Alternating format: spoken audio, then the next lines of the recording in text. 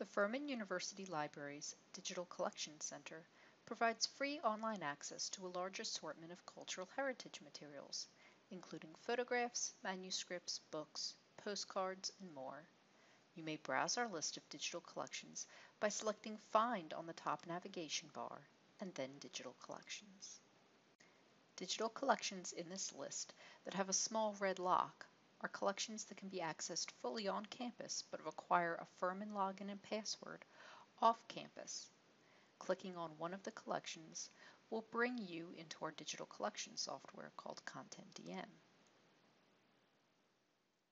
From ContentDM, you can browse or search within a specific collection or search across all of our collections. To search the collection, enter a search term in the box above. Let's say that we're looking for portraits of Richard Furman, namesake of Furman University. Start the search by typing Richard Furman in the search box at the top of the page. Wow, we got 143 results. Let's try sorting these results chronologically.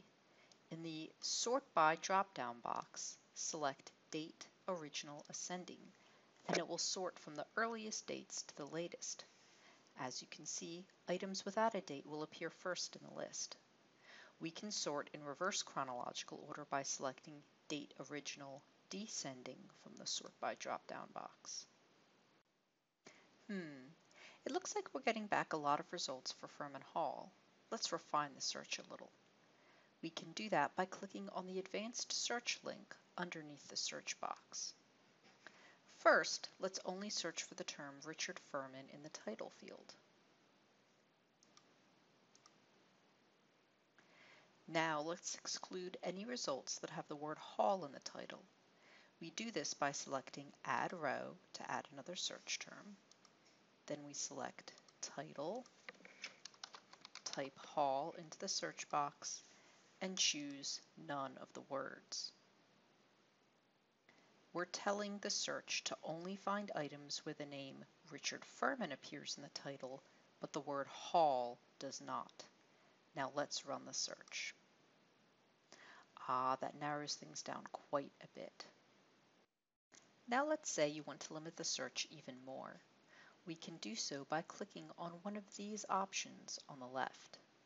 We're going to limit the search to the subject, Portraits. Now we only have four results. Let's say we want to learn more about this color painting of Richard Furman. We'll click on it. This takes us to the complete record for the item. As you can see, there is lots of rich description in this record, including information about the painting, the time period that it reflects, and the sub-collection that it belongs to. If we clicked on any one of these links, it would run a new search specifically looking for these terms. If we wanted to zoom in on this image, we can do so using the expand icon at the top right corner of the image. We can then zoom in or zoom out using the plus and minus signs in the top left of the screen. There are also options to download or to print over here on the right side of the image. If you have any additional questions, please contact the Furman University Digital Collection Center at digitalcollections at furman.edu.